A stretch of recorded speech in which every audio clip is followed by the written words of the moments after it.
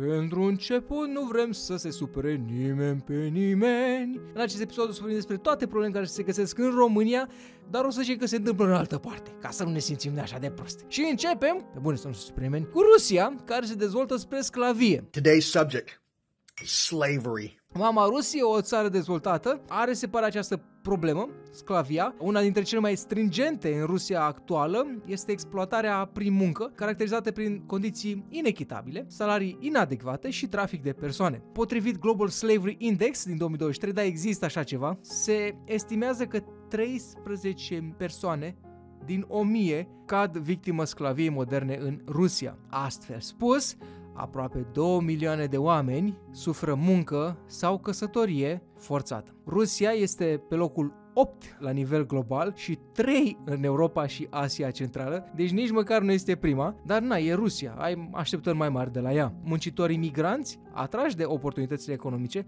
se află adesea în centrul unor condiții de muncă ostile și precare. Străinii, în general, sunt supuși salariilor extrem de mici, lipsei siguranței locului de muncă și condițiilor de viață necorespunzătoare. În anul 2023, în Rusia s-au înregistrat peste 10 milioane de muncitori străini, cei mai mulți localizați în orașe ca Moscova, Novosibirsk, Krasnodar, Sankt Petersburg, Tumen și Ekaterinburg. Vulnerabilitatea acestor muncitori este exacerbată de statutul juridic, pentru că nu au unul, le lipsesc documentele necesare sau se confruntă cu dificultăți în accesarea protecțiilor legale. Traficul de persoane e o altă problemă, aceasta implică răpirea, transportul, exploatarea persoanelor fără acordul lor, în timp ce guvernul ia măsuri pentru combaterea traficului de persoane prin legislație și implementează eforturi de aplicare a legii, provocările există. Victimele, în special femeile și copiii, pot fi constrânse la muncă forțată, exploatare intimă sau alte forme de abuz. Numerele pe hârtie nu sunt foarte mari. În 2020, guvernul rus a trecut 52 de victime în traficul de persoane, 61 în 2019, 19 în 2018. Acum, acestea sunt cazurile raportate despre care se știe, consolidarea companiilor de conștientizare, îmbunătățirea serviciilor de sprijin pentru victime, consolidarea cooperării internaționale, toate sunt aspecte esențiale pentru abordarea problemei complexe. Recunoscând gravitatea exploatării prin muncă, guvernul rus a implementat diverse inițiative pentru a combate problemele, pentru a se proteja drepturile muncitorilor, pentru a se opri traficul de persoane, cu mai mult sau mai puțin succes. Ajungem la greci, mai corupți decât corupții. Este o națiune cu o istorie bogată, cu moștenire culturală densă, care se confruntă cu o provocare contemporană majoră, corupția. A former defense minister in the Greek government has been found guilty of corruption. În ciuda faptului că a trecut la un sistem democratic, după multă dictatură militară, Grecia este în continuare acuzată de corupție care depășește limitele atmosferei superioare. Conform unui recent sondaj Eurobarometru, 98% dintre greci consideră că țara lor este foarte coruptă. Corupția în Grecia pătrunde în diferite sectoare ale societății, inclusiv politică, afaceri, administrația publică. Statul este adesea criticat pentru lipsa de transparență, pentru ineficiența sistemului judiciar și de cazuri de luare de mită și de lapidare. O astfel de corupție are implicații pentru dezvoltarea economică, pentru încrederea publicului în instituții, pentru funcționarea generală a societății democrate. Potrivit indicelui de percepție a corupției din 2021, Grecia are scorul de 49 din 100 și ocupă locul 58 în topul statelor corupte. Nu e pe primul loc, din nou știu, dar totuși Grecia. Săraca e bine că a scăpat de dictatura militară, a ținut între 67 și 74. În acea vreme libertățile au fost drastic reduse, dizidența politică a fost suprimată prin modul preferat uciderea. Din nefericire, patronajul politic, dictatura, represiunea, cenzura trăiau într-un mediu de corupție în regimul autoritar, care s-a transferat până în ziua de astăzi. Există cadre de reglementare slabe, lipsa unor controle, organe care se controleze unul pe celălalt, toate au creat un mediu propice corupției din prezent. Israel, nu vorbim prea mult de Israel, vorbim doar despre cenzurarea presei. Avem o națiune situată la răscruce a tensiunilor geopolitice, cu diverse probleme când vine vorba de tratarea libertății presei. În timp ce Israelul are un peisaj media vibrant și o tradiție a presei libere, există ridicări de întrebări cu privire la libertatea acestora.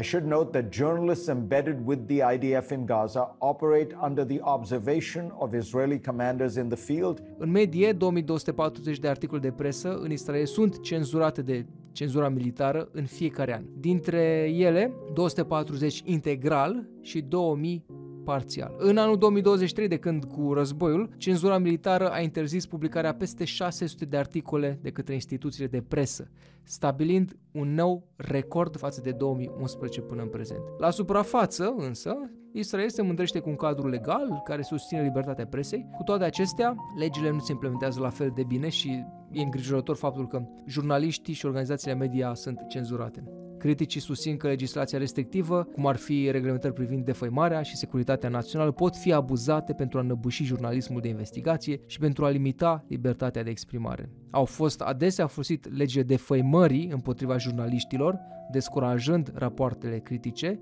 Intenția putea să fie de a proteja indivizii de acuzații false, dar interpretarea largă a legii poate avea efectul de cenzurare a jurnaliștilor, dacă nu directă, autocenzurare pentru a evita repercursiunile legale și o mai slabă calitate a investigației. Având în vedere provocările sale geopolitice unice, Israelul se confruntă cu probleme de securitate națională. Criticii spun că aceste considerente au fost folosite pentru a justifica restricțiile mass mediei. S-au observat cazuri de cenzură, în special în perioadele de conflict sau de tensiuni de securitate, când se limitează capacitatea jurnaliștilor de a da un raport independent. Faptul că vorbesc despre acest subiect e posibil să facă episodul să nu fie prezent pe YouTube. Vă spun într-un episod de news dacă a fost cazul sau nu. Lucrurile nu se termină aici.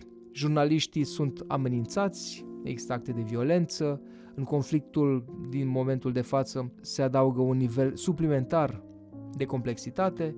Există documentate cazuri în care jurnaliștii au fost vizați sau chiar reținuți. Nu arată bine. Glasgow Scoția. Speranța de viață în Glasgow, Scoția, este mai redusă decât în unele zone de război din lume. Acesta este de mult guvernat de diferențe mari socioeconomice. Speranța de viață însă arată cel mai bine problemele. În Anglia, speranța de viață este de vreo 78 de ani jumate pentru bărbați, în Glasgow 54. În centrul problemei se află o rețea de factori socioeconomici, avem nivel ridicat de sărăcie, șopmaj și oportunități educaționale NEMA, care creează un mediu în care dacă dai de o problemă de sănătate, o rezolvi acasă între patru scânduri de lemn. Lipsa oportunităților economice nu numai că afectează calitatea vieții în general, ci și restricționează accesul la servicii de sănătate. Un procent de 43,2 din toți locuitorii în Glasgow trăiesc în zone care se numără printre cele mai defavorizate din Scoția. În medie, familii sărace trebuie să se descurce cu 500 de lei pe săptămână, valoare mult sub pragul sărăciei, fiind influențată mai ales de pandemie. 115 lire, am transferat grosomodo, hai 600 de lei, na, scuze. Și s-a estimat că o treime din toți copiii din oraș trăiesc în sărăcie. Starea infrastructurii de sănătate publică are un rol crucial în context, unitățile de îngrijire medicală sunt insuficiente, există resurse limitate pentru prevenție, pentru educație, când vine vorba de sănătate. Toate exacerbează provocările cu care se confruntă rezidenții. Tensiunile asupra sistemului de sănătate contribuie la diagnosticarea întârziată și la tratamentul inadecvat. Compararea speranței de viață din Glasgow cu zone de război este tulburătoare și subliniază severitatea diferențelor din comunitate. În război, da, avem provocări acute, violența, gloanțele, strămutarea, întreruperea serviciilor de asistență medicală, dar uh, Glasgow are aceleași probleme. Australia stă prost cu drepturile esențiale ale omului. Ea are oricum o istorie marcată de strămutarea și maltratarea populației indigene, popoare aborigene și cele din strâmtoarea Torres. În ciuda faptului că este o țară foarte avansată, în momentul de față, statul insular refuză cu încăpățânare să dea drepturi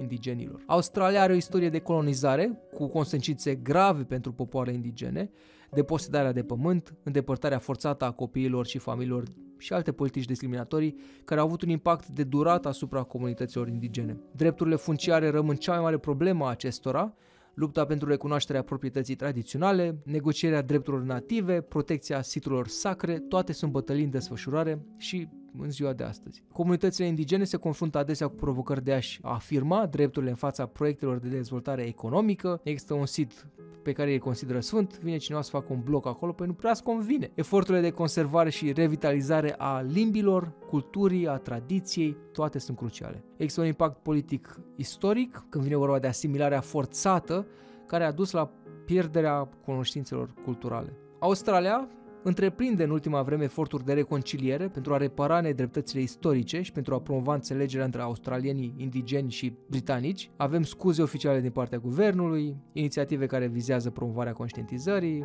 respectul cultural. Cred că indigenii s-au unecat în lacrimi după ce au auzit scuzele de la guvern, sigur. Germania nu e o țară foarte de treabă cu refugiații.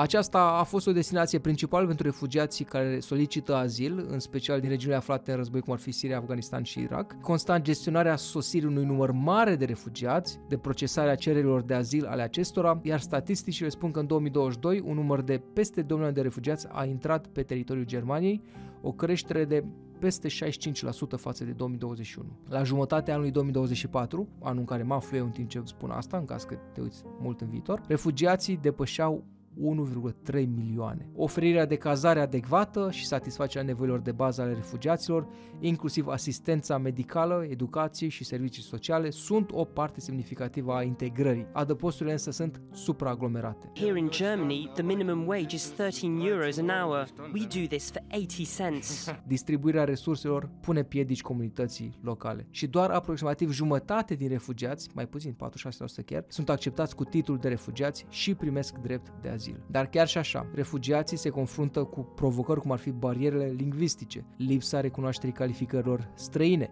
diferențele culturale la locul de muncă. Există desfășurare inițiative pentru a elimina lacunele, pentru a promova practici de angajare care să includă pe toată lumea, dar în 2022 doar 64% din refugiați aveau un loc de muncă și 75% dintre aceștia erau bărbați. Navigarea în aspectele legale și administrative ale rezidenței, permiselor de muncă, accesul la servicii sociale, sănătate, sunt o provocare pentru, pentru oameni în general, dar aminte pentru refugiați. Eficientizarea proceselor birocratice și furnizarea de sprijin juridic sunt esențiale pentru integrarea cu succes. Există din nefericire discriminare, dar și promovarea coeziunii sociale, există campanii de conștientizare a publicului, există politici antidiscriminare, există inițiative de implicare a comunității, dar e suficient un idiot să facă o prostie și să dea totul peste cap.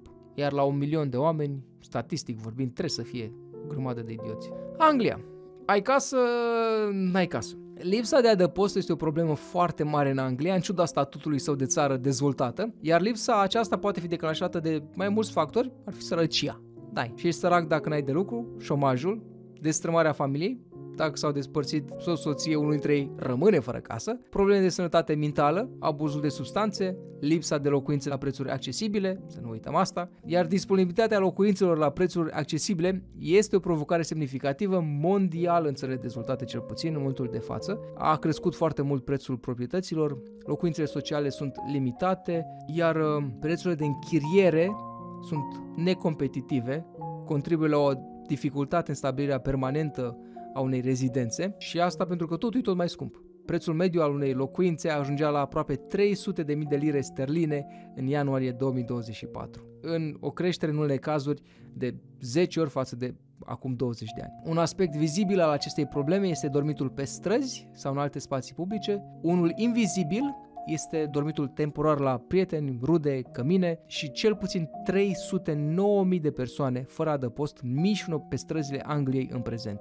Se observă o creștere în primele luni ale lui 2024, între ianuarie și martie de exemplu, cu încă 4.000 de persoane noi. Măsurile de austeritate implementate, ca răspuns la provocările economice, au avut un impact asupra serviciilor publice, asupra sistemelor de sprijin, reducerile de finanțare pentru servicii sociale, sprijinul pentru sănătatea mentală, inițiative de locuințe ieftine, care lipsesc, au exacerbat lipsa de adăpost. Există o legătură foarte mare între lipsa adăpostului și problema de sănătate mentală, apropo, de asemenea și între asta și abuzul de substanțe. Corea de Nord ai vrea să spun, dar de fapt Corea de Sud este țara unde mai bine nu trăiești decât să trăiești. Stigmatizarea sănătății mentale în Corea de Sud este o problemă semnificativă în societate, care are efecte de lungă durată asupra indivizilor și asupra familiilor. Stigmatul se referă la atitudini negative, la stereotipuri și comportamente discriminatorii îndreptate înspre persoanele cu probleme de sănătate mentală. În Corea de Sud, stigmatizarea problemelor mentale este înrădăcinată în cultură, în societate, în istorie. Și, din nefericire, în prima jumătate a anului 2024, aproape 6500 de oameni și-au luat viața din cauza discriminării pe caz de boală. Iar în 2023, aproape 14.000 de oameni. Rata de luare a vieții în Corea de Sud este cea mai mare dintre toate statele membre ale Organizației pentru Cooperare și Dezvoltare Economică. Există 24 de cazuri pentru 100 de mii de oameni, de două ori peste media de 10,7. Cultura tradițională coreană pune un accent foarte puternic pe colectivism, pe conformism și pe menținerea unei imagini externe pozitive. Condițiile de sănătate mentală sunt adesea privite ca slăbiciuni sau eșecuri personale, lucru care duce la reticență în rândul persoanelor de a discuta deschis sau de a căuta ajutor în primul rând. Conștientizarea și educația publică limitată cu privire la sănătatea mentală duc mai departe la perpetuarea stigmatizării și există o lipsă generală de înțelegere cu privire la natura bolilor mentale, lucru care duce la concepții greșite și atitudini negative. Stigmatizarea sănătății mentale este deosebit de răspândită, mai ales la locul de muncă. Angajații se pot teme de repercursiuni, de discriminare sau deteriorarea reputației profesionale dacă dezvăluie faptul că au probleme de sănătate mentală angajatorului sau unui coleg. Stereotipurile de gen în Corea de Sud contribuie la stigmatizarea sănătății mentale și bărbații sunt adesea sau în mod special sub presiunea de a se conforma idealului tradițional de masculinitate, lucru care le face dificil exprimatul vulnerabilității sau căutatul de ajutor. Guvernul sudcorean recunoaște nevoia de a aborda stigmatizarea, inițiază companii pentru a promova conștientizarea, totuși schimbarea culturii, aha, distanță mare între dorința guvernului și a ce face populația în sine. Spunem care cred că este cea mai mare problemă a unui stat dezvoltat. Aici, desigur, n-am pus în niciun caz, în afară de Corea de Sud, n-am pus țară de pe ci țara care ar trebui să facă mai bine de atât. Spunem în România, care crezi tu că este cea mai mare problemă cu care ne confruntăm noi în momentul de față? Fii politicos, nu spune că eu sunt aceea. Îți mulțumesc pentru atenție, nu uita de și like și abonare, clopoțelul de notificare, este Alex Cosma și atenție Cadmer.